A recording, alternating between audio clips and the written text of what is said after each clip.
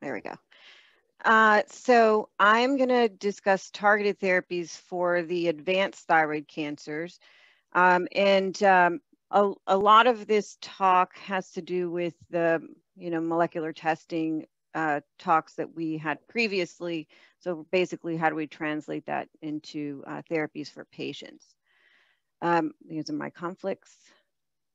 Okay, so again, just showing origins of thyroid cancer and that um, when you go from, um, you have these distinct mutations in papillary follicular um, and Hürthle cell, and then as these become less differentiated, the, the driver mutation is retained in poorly differentiated and anaplastic, but they gather new mutations. Um, and then the important, we didn't talk a whole lot about medullary, um, but the, the, the more common mutations in medullary thyroid cancer are RET and RAS. So before 2013, for, for differentiated thyroid cancer, we had um, very few options. We would um, remove the tumors, suppress the TSH, and give radioiodine. And if that didn't, you know, if the patient continued to progress, give more radioiodine. But really, you know, there wasn't much else except to refer patients to, to clinical trials. And so um, we needed therapies for patients that had become radioiodine refractory. And so that was then, this is now. This is now what we have for patients who no longer respond to radioiodine, and for, of course, medullary thyroid cancers where we don't give radioiodine. Uh, so we have um, in green the anti-angiogenic drugs, sorafenib, lenvatinib for differentiated thyroid cancer, vandetanib, cabozantinib for medullary thyroid cancer, Cabo now has another indication in thyroid for second line therapy in differentiated thyroid cancer. The drugs in blue are more targeted, um, molecularly targeted therapies. So um, BRAF MEK inhibitors for BRAF mutated ATC, the, this is approved.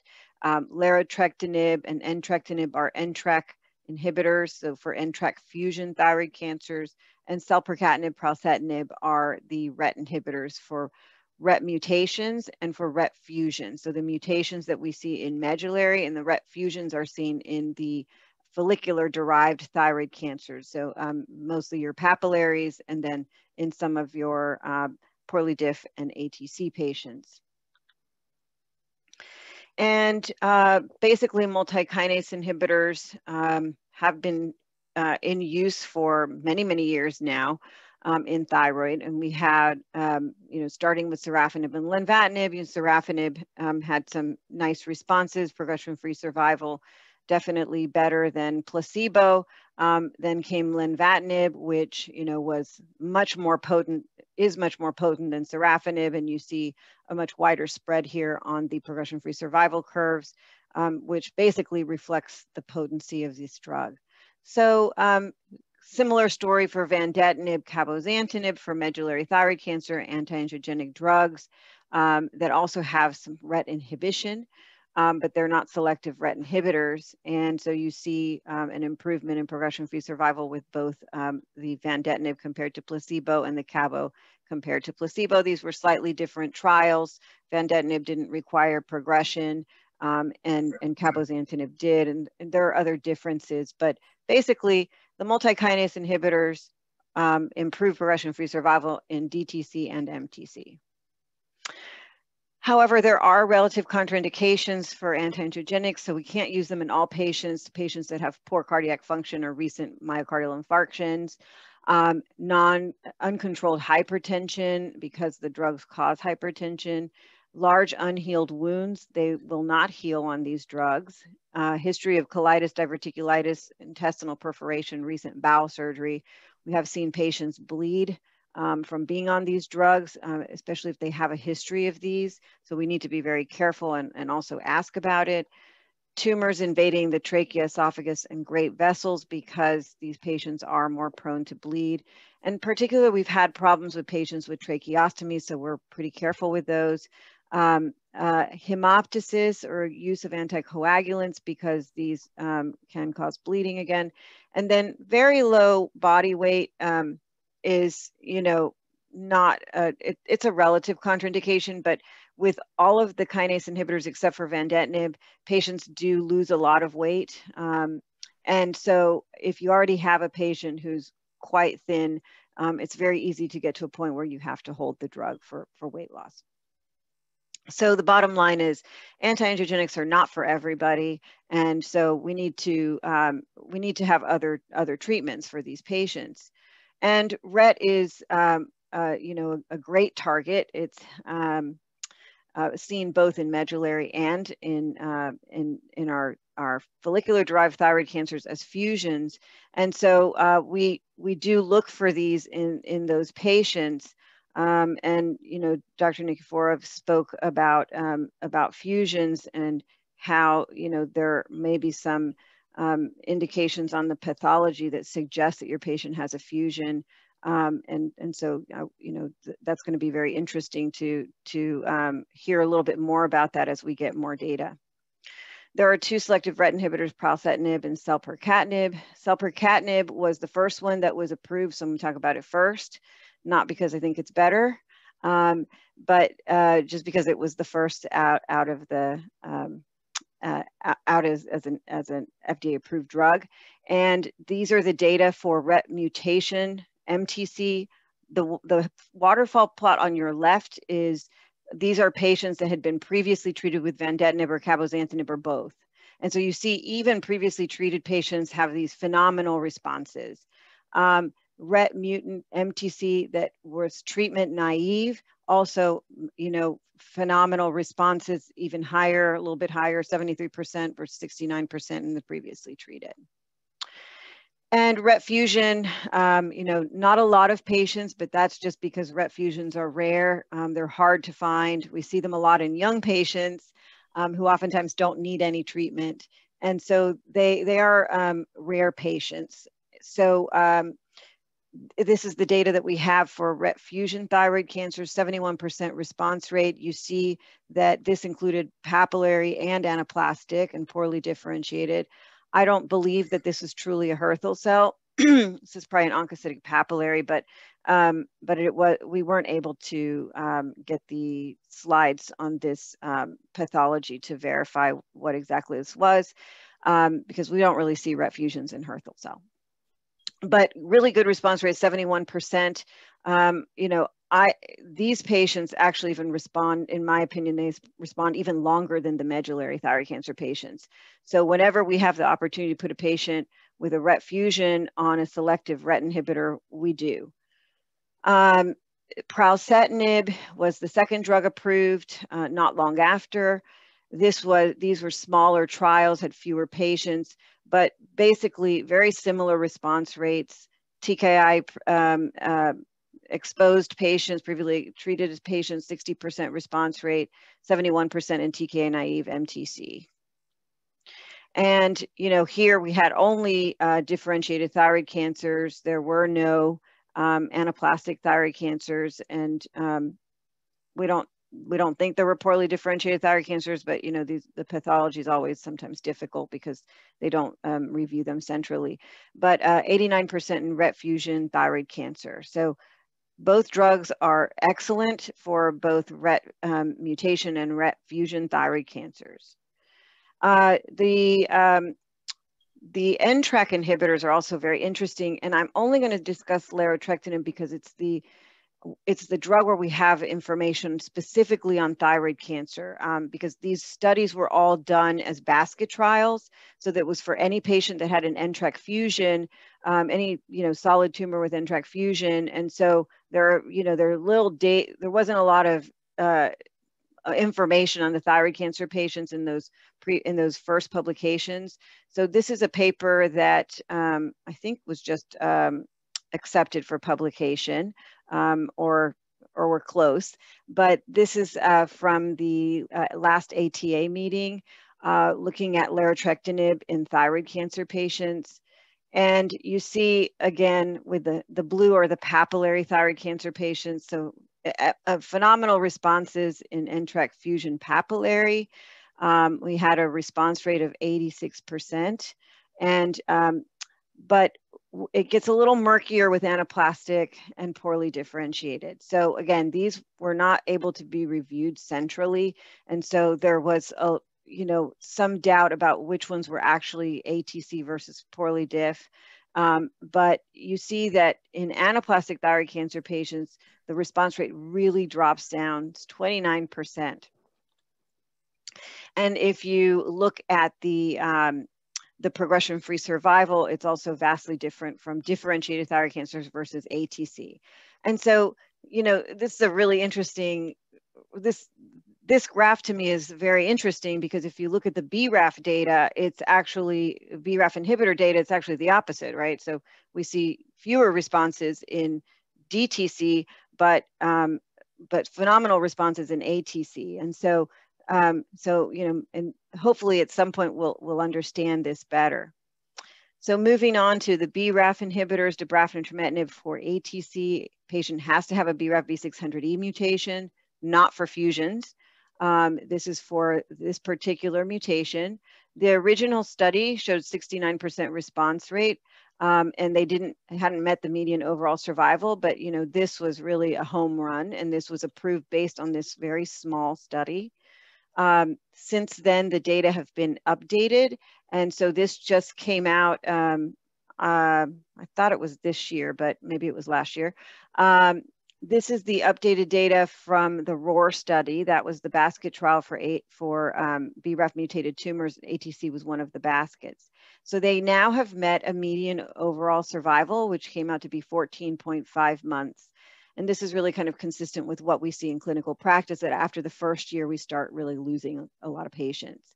Um, and so, so th this really kind of clarified what the actual median overall survival was for these patients.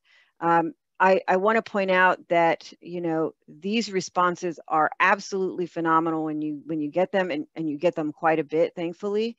Um, this is a patient of ours who was transferred into MD Anderson with this trach, and you see her tumors coming out of her neck, and that's four weeks later. Um, skin is completely healed. This is not an atypical response. So they, it happens very fast. So we can really, you know, um, spare patients of tracheostomies if we're able to move fast and get the BRAF um, by IHC, you know, um, and be able to get them on BRAF inhibitors. Well, what about in DTC? BRAF inhibitors and DTC have been studied extensively. Um, we, um, we did this study many, many years ago. It was published in 2016 on the, on the left, which is the vemurafenib study. Um, and then we've uh, also completed the dabrafenib uh, versus dabrafenib plus trametinib study. Uh, and this is just a table that I put together kind of looking at the um, response rates, but it's on the order of about 30% essentially, 30 to 45 20 for previously treated is 27%, for treatment naive 39% with vemurafenib, and then a little higher with dabrafenib, and then dabrafenib plus, plus trametinib. But you don't see those really high response rates that you see in ATC. Okay, so no talk is complete without speaking about immunotherapy. So uh, I showed some of this this morning with the data with spartalizumab. It's the only study that we have with single agent immunotherapy in ATC. Phenomenal study. It was 42 patients, worldwide enrollment, and the response rate was 19%. Now that doesn't sound like a lot, but actually for immunotherapy, this is a fairly good number. Um, and so um, so we there are patients who who respond very nicely to immunotherapy, but a lot of them don't. And the challenge will be trying to figure out who are the ones that respond. So they did some of this work, and we see that the PD-L1 expressing patients are the ones that live longer, and they also um, have better responses. So, uh, so we do uh, look at PD-L1 and ATC. Um, that's pretty controversial at the moment because there's not a lot of data to support it, but we are using the information at MD Anderson. Um, we did this, uh, we published this study now many years ago, uh, and uh, essentially we started to see this drop off of patients who we're not responding anymore to targeted therapy, right? Because it was back in the day when we used single agent or we used dabrafenib trametinib in our patients um, off trial. Um, and once they stopped responding, we would add in a third drug, which was pembrolizumab. Um, in almost all of these, it was pembro. I think we had one Nivo patient. And we would then see responses again. So we had a 42% response rate, very small number of patients, but it was just to show that, you know, um, that that whatever that these first of all these patients progress through targeted therapy and that you could salvage some of them with immunotherapy by adding it on not subtracting and adding. Uh, we would basically leave them on their targeted therapy and add the immunotherapy. And and we did that because initially we stop we would stop the targeted therapies and then patients would die very quickly. The immunotherapy just doesn't work fast enough.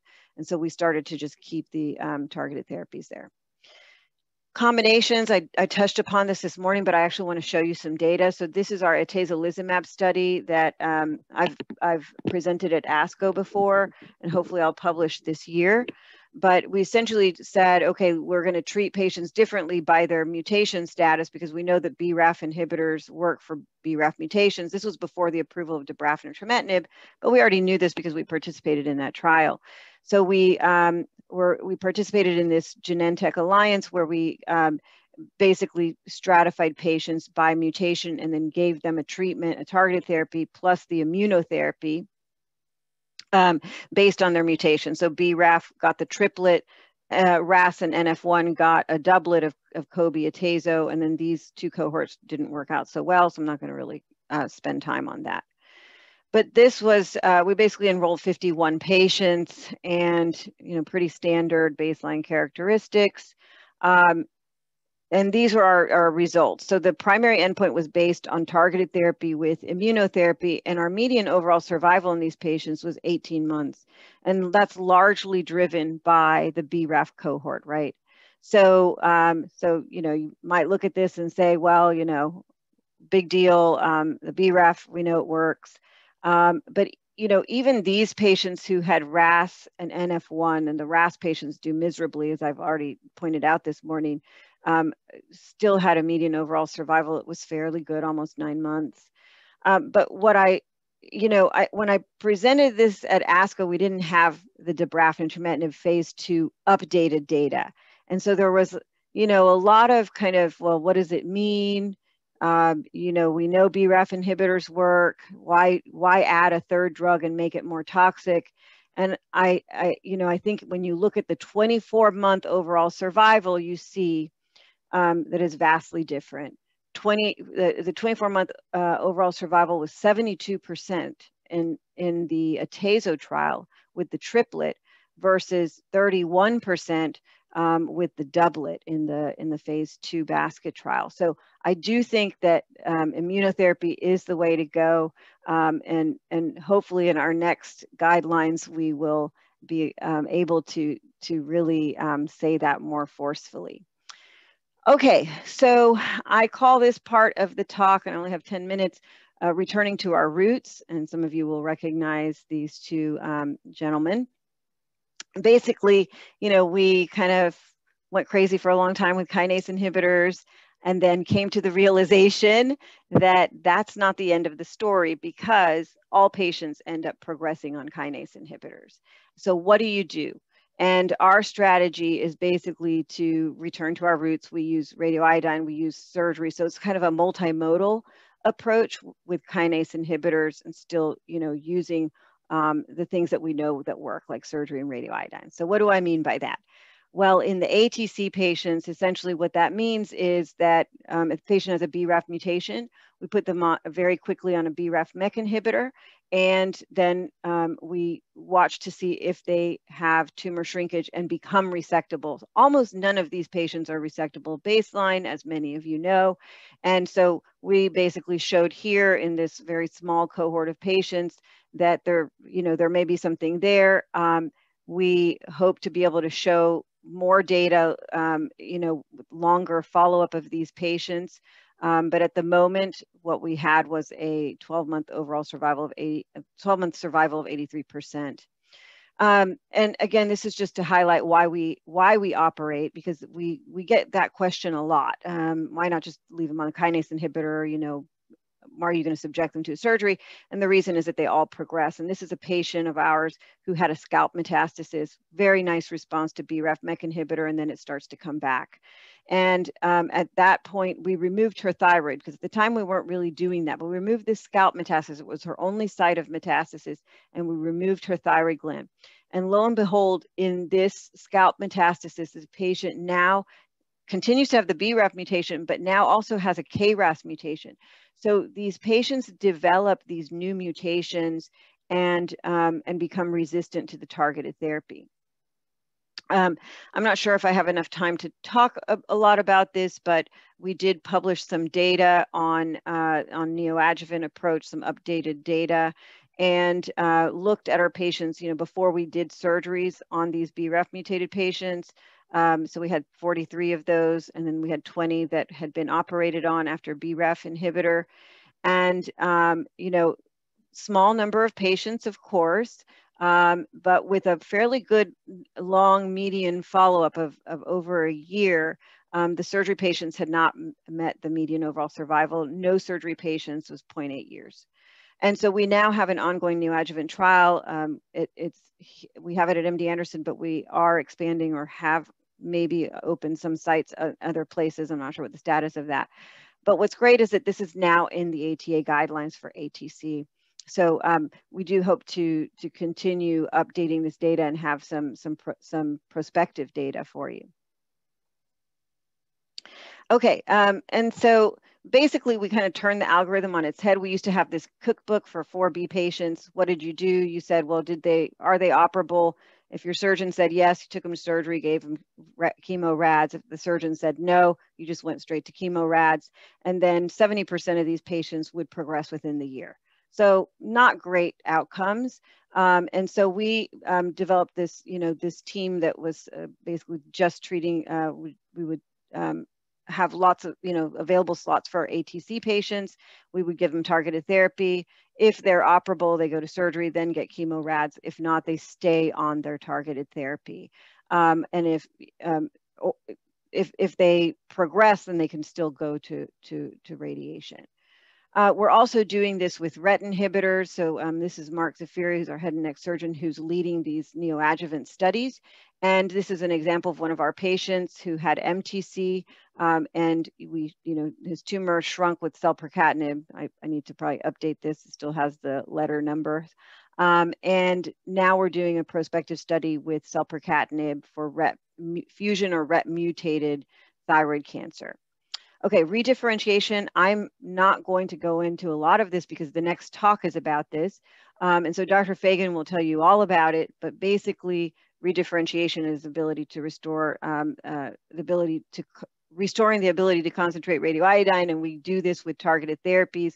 So BRAF inhibitors for BRAF mutated, um, for, for the RAS mutated patients, or they don't have a BRAF mutation, we generally use MEK inhibitors. Um, and then we're now also starting to see some um, cases coming out of NTRK fusion and RET fusion patients who are um, who are on selective inhibitors who who have successfully redifferentiated. And what the advantage of this is that you're able to then stop the kinase inhibitor if the patient um, redifferentiates, and you can just see that you can stop the the chemo and see what happens. This is beneficial to our patients because you know, the, these all these drugs have toxicities, and so it's really um, important to the patient that um, they at least be able to get a break from from from uh, chemotherapy. So um, I will end with just uh, telling you there are many options now for thyroid cancer, particularly MTC and PTC. Um, I didn't uh, have a lot of time to talk about the the the um, toxicities with some of these more targeted agents, but they in general are, in general are less toxic than the anti-angiogenic drugs. So that's a, a big win for us um, and for patients. Uh, but and we can, you know, if you have questions about that, I'm happy to answer them. We've seen lots of advances advances in ATC and ATC patients. Um, we we now have really good therapies for BRAF mutated um, you know, the rare patient where you find a fusion, that's more controversial. And then of course, the patients that don't have any of that, those are more complicated patients that should go to clinical trials. Um, I think neoadjuvant um, and redifferentiation are really kind of the wave of the future. Neoadjuvant has already been included in the ATA, um, uh, ATC guidelines. Um, and, and, you know, hopefully when we complete our trials, um, you know, in, with the, um, with the RET inhibitor neoadjuvant trial, um, at some point, maybe that will be also included. Um, the clinical trials for redifferentiation, um, there have been several that are published. Um, there are more coming down the, the pike. And of course, clinical trials for redifferentiation that, um, and, and I, you know, these are very difficult trials to do and they have to be designed in a very particular way. And I think Dr. Fagin is going to really enlighten us on, on what, how best to do these uh, studies. And, um, and, and hopefully that will at some point be addressed in guidelines. So with that, I thank you. And um, uh, this is our MD Anderson family. This is our last photo in 2018. Unfortunately, uh, we didn't take one in 2019. And then after that, we haven't really seen each other. So, um, but, but this is most of the gang for now. Thank you very much.